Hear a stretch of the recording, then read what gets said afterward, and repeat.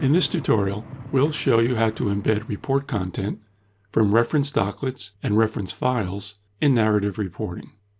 The focus of this tutorial is Excel-based reference doclets and reference files. For information about management report reference doclets, please view our tutorial Inserting Management Report Content into Doclets. For more information about creating and authoring Excel-based reference doclets and creating available content, please view our tutorial Creating and Authoring Reference Doclets. As a doclet author, you can embed report content into your doclets from a reference doclet or a reference file. Reference doclets are common stores of report content that are authored and refreshed by another author. This common report content can be shared across a report package.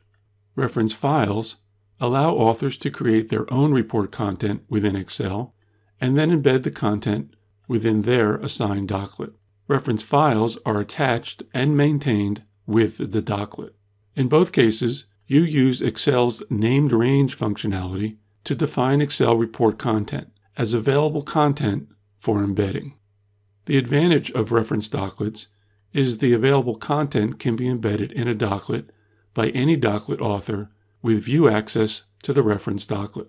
However, reference doclets can only be created by report package owners. The advantage of reference files is that any doclet author can create available content in a spreadsheet and then embed it in their doclet. However, the available content of reference files is not commonly shared within a report package and is only associated with the doclets in which it is embedded. Whenever a reference doclet author modifies the available content of a reference doclet and checks it in, the system automatically refreshes any doclet that has the embedded content. Whenever a doclet author modifies the available content in a reference file and uploads the changes, the content is refreshed in the associated doclet.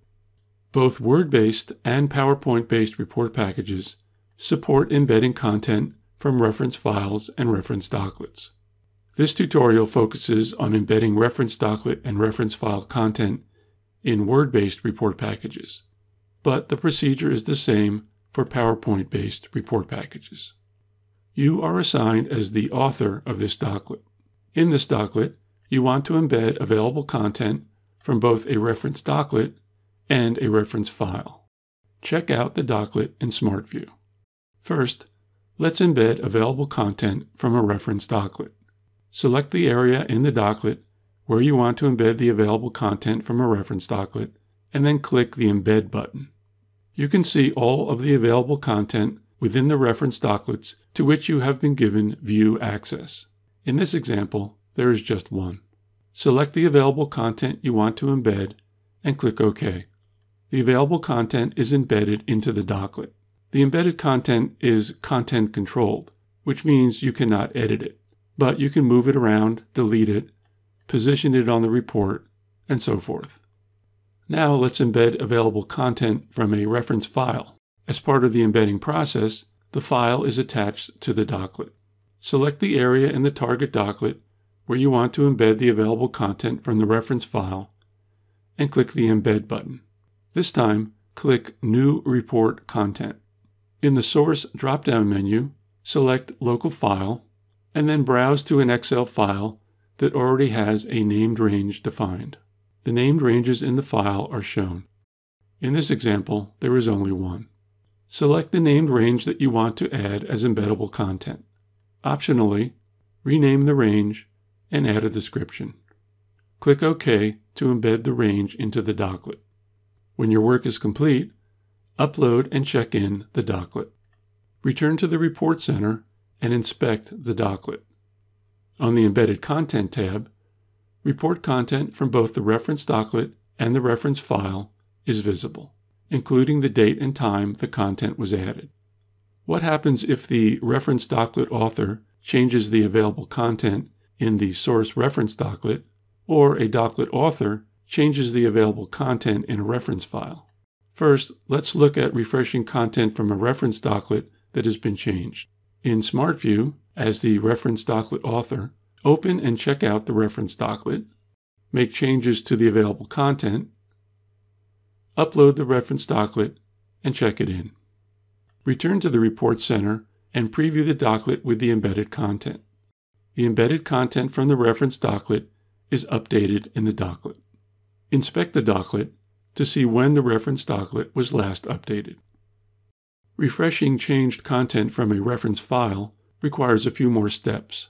In SmartView, as the document author, check out the document that contains the reference file you want to modify. Inspect the document. On the Embedded Content tab, select Available Sources and click the reference file you want to modify to open the file in Excel. Make the desired changes to the available content and upload the file. After you upload the reference file in Excel, return to the document. Notice the content is not refreshed yet. Refresh the embedded content. The embedded content from the reference file is now refreshed. Upload the document and check it in. Return to the Report Center and preview the document. The embedded content from the reference file is updated in the document. Inspect the document to see when the reference file was last updated.